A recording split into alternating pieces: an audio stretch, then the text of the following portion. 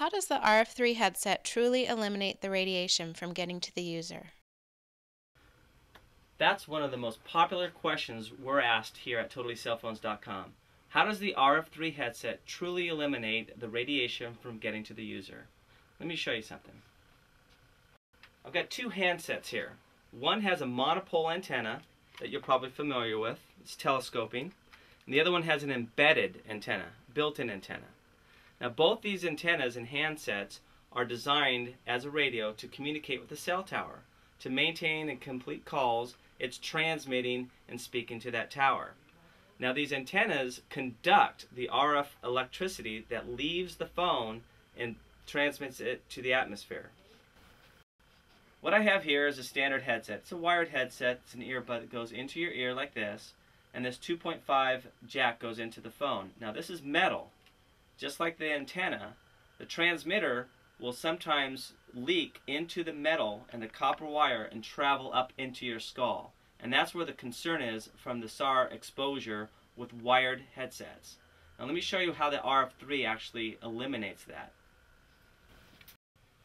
Now let me show you how the RF3 patented technology prevents the SAR from getting to the user.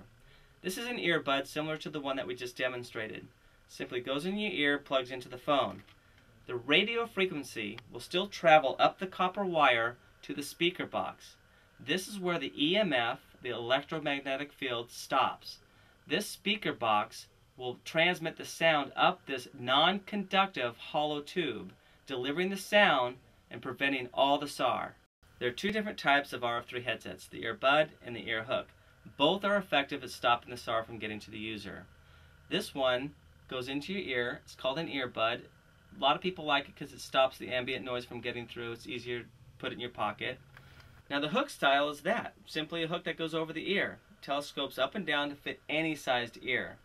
A lot of people prefer the hook because once it's in, it adds a bit of stability in case the cord is pulled on. It's a personal preference, the hook versus the bud. The RF3 ear bud and ear hook are equally effective at preventing the SAR from getting to the user. It's all in the patented technology of the air tube. The air tube is hollow, delivers the sound, but no EMF. For more information about cell phones and other wireless accessories, visit the Cell Phone Guru Man at www.cellphoneguruman.com. This message is sponsored by TotallyCellPhones.com.